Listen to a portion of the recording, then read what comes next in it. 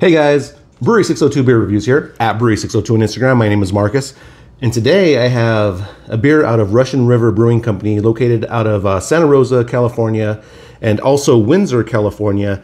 This is Pliny the Elder. It is a double West Coast style IPA coming in at 8% ABV. Now, obviously, uh, if you're a beer drinker or craft beer lover, you know the label, you know what it is, um, you know the reviews that are on this beer. It is considered um, the precursor to all these uh, awesome West Coast style IPAs. It's kind of like the Godfather, uh, the GOAT, you know, whatever you want to call it. Um, and to give it respect, I'm going to go ahead and read what's on the label.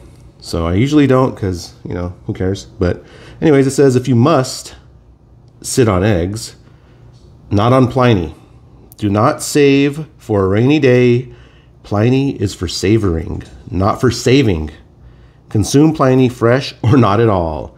And it says, uh, does not improve with age. Hoppy beers are not meant to be aged. Keep away from heat.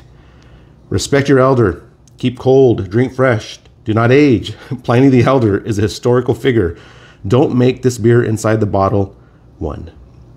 So, obviously, uh, they want you to drink it fresh. so, this beer actually was uh, sent to me in a beer trade.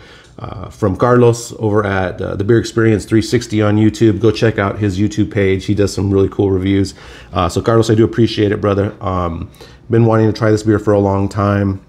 And so we did a little bit of beer trades up there in California, and he was able to find it and send it over to me. So, without further ado, Pliny the Elder.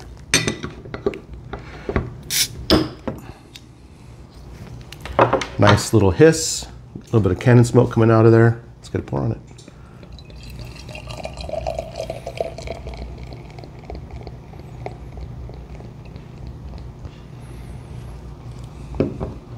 For you.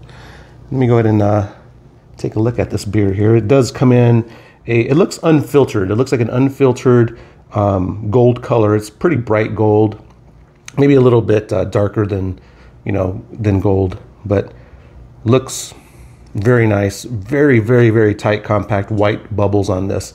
So very well carbonated beer. Kind of go up into a little bit of a sudsy bubble. Looks fantastic in the glass. Let me get a dry-by aroma. So the drive-by is a real clean, uh, you know, pine, uh, grapefruit. There's a little bit of floral character in there as well. Yeah, you, you know, um, clean is a very descriptive, I guess, term for this because it is super, super clean. Um, it, you could tell there's a really good balance between the malt and the hops. Uh, the hops do come off as being like the, a grapefruit, you know, your typical West Coast kind of style. There's a, that grapefruit kind of thing going on, that pine kind of thing going on. There's some floral notes in there as well. Um, and maybe a little bit of like that, uh, even like grapefruit, uh, the, the rind on the grapefruit, some to that effect that kind of sprays in there. You get a deeper aroma. A little bit of a, a bready, uh, crackery kind of malt going on in there as well. Um, kind of detect the presence of like a crystal malt, which is like perceived as a little bit of a caramel kind of thing. It's very light, but you could tell it's kind of in there to help balance out the hops.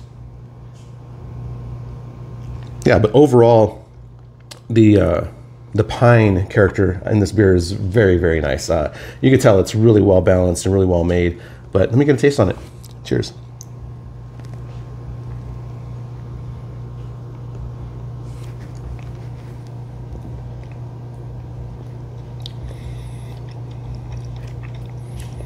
just smooth.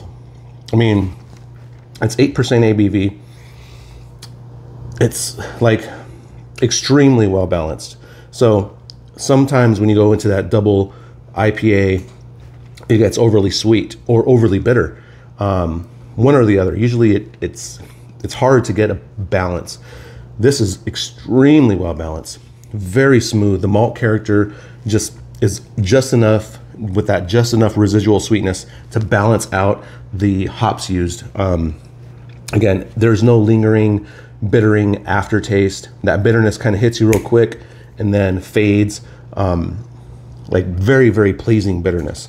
It's not harsh. It's not astringent at all. Um, actually, it's uh, unusual because it's very pleasing. Usually, some of these West Coast aggressively hopped IPAs are astringent, they're drying, and, and you kind of like, you know, it's good, it's really bitter. You keep drinking it, and you know, you kind of get used to it. This one here, there is no bitterness um, that stays in your mouth. So it's easy to drink. For 8%, that's kind of scary.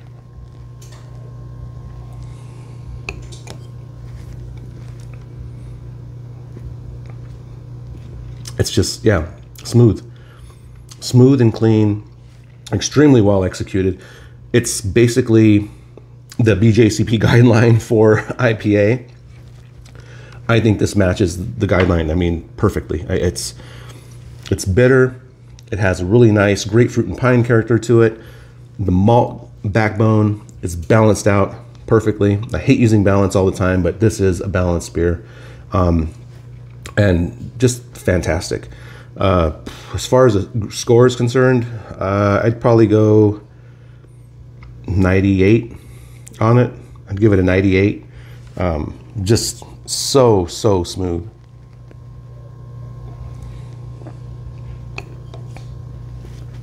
Yeah, pretty hard to, to complain about this beer. So I'd go a 98. This is, you know, Russian River, Pliny the Elder, Carlos, thank you very much for this beer, my brother. Maybe we'll have to do another trade for some more bottles of this stuff because it is fantastic. My name is Marcus. It's Brewery 602 Beer Reviews at Brewery 602 on Instagram. Please like, follow, and subscribe. Cheers.